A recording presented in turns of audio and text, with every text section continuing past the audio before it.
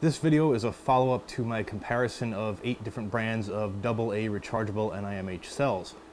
Now this time around I was looking for AAA cells and like the last time the EBLs were by far the cheapest on a per cell basis so I went for them and they had EBLs that were rated 800 milliamp hours and ones that were rated 1100 milliamp hours and I was curious to see what the actual difference was because the price wasn't too far apart.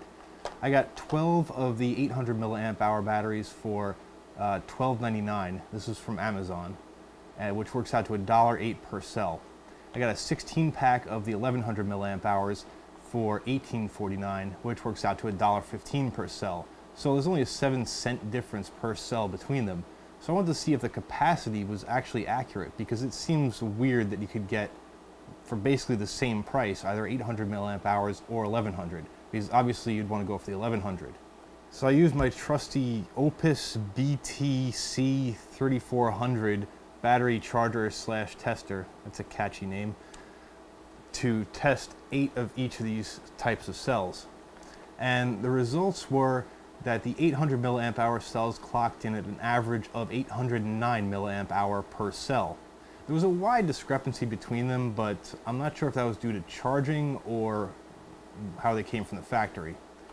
The 1100 milliamp hour cells came to an average of only 980 milliamp hours, which was pretty disappointing.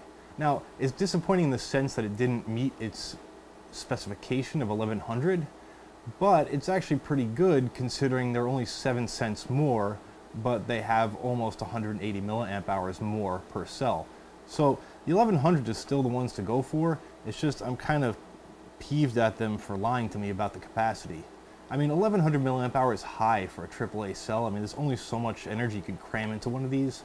So I didn't really expect them to reach 1100. So better part of a thousand isn't terrible, but uh, in that sense, it's kind of a ripoff. In the sense of getting what you pay for, I mean, it's really not bad. So if you're looking for AAA batteries on Amazon and you need something with a decent capacity for a very low price, so far I've been pretty happy with the EBLs. I've been using the double A's for a while now and haven't had a problem. They also come with these nice uh, plastic cases, which is pretty good for storage. So yeah, that's all I have on this for now. Uh, if you want to see my comparison of double A cells, check out the video right here or in the description below. I'll put a link. And uh, check out my blog at s.co.tt and like this video if you liked it. And um, I don't know, don't dislike it. Help me out a little. Actually, do whatever you want. I don't care. That's a bad way to end the video. Ah, fuck. I'm always terrible at ending videos.